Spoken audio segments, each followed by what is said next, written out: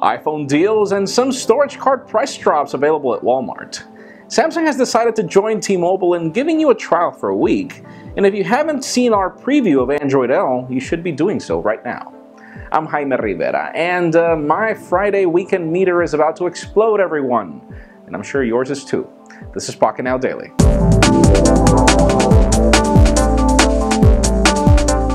Just a couple of hours after we filmed the Pocket Now Daily yesterday, Android L's developer preview went live and Joe Levi got his hands on it. And you can bet his video is already live. Links in the description. Watch for our full coverage of everything that Android L offers. It is extremely compelling and I wish I had a Nexus 5 right now. In other official news, Walmart is trying to make it more compelling to get rid of some iPhone stock. If you're in the market to buy an iPhone right now, Walmart is the place 150 bucks for the iPhone 5S $50 for the iPhone 5C, and if you already have a smartphone, they've got some really good deals on Sony microSD cards. Uh, 16 bucks for 32 gigs, $33 for 64 gigs. That is crazy. You should be there. And after T-Mobile's Uncarrier 5.0 event where they're allowing you to give an iPhone 5S a test for a week to see if you like their network and then choose if you want to take the phone or not, Samsung has just joined the wagon but in an even hotter deal. They'll give you a Galaxy S5 or a Galaxy Note 3, but they also allow you to take one of their Gear smartwatches to test. Yes, you can test the Gear aside from the smartphone just to see how all three, the network, the phone, and the wearable work together. Links in the description for full details. This is a great deal. Now, on very unexpected news, Google's engineering director David Burke was recently interviewed, and uh, he was very concerned that all of us are worried that the Nexus lineup is dying.